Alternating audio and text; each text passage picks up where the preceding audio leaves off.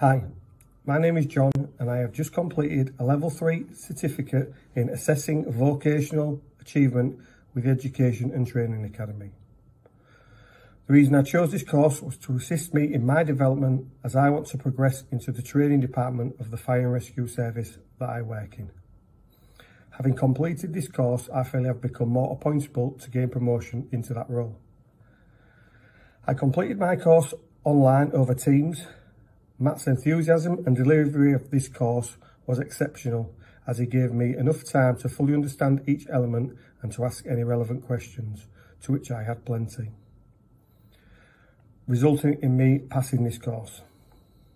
Now I have completed this course, I have become a more confident instructor as I have a better understanding of the assessment process. This will allow me to showcase my knowledge of assessments in my interview and any practical elements of the promotion process. Thank you.